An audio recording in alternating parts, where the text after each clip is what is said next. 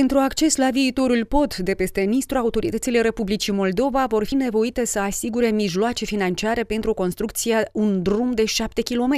Acesta va asigura conexiunea dintre pod și drumul național R14. R14 Cosăuți, frontieră cu Ucraina.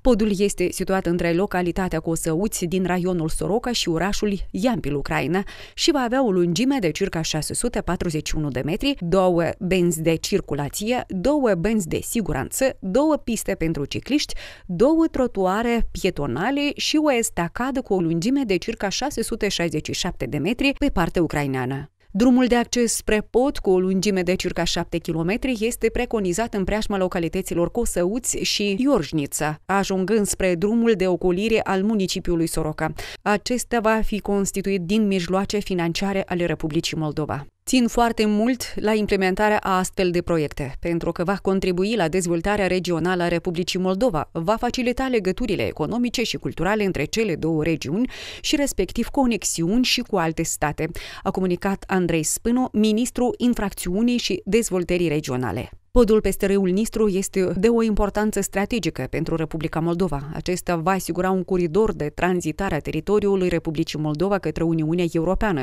inclusiv va reduce considerabil timpul de deplasare din Chișinău spre Kiev.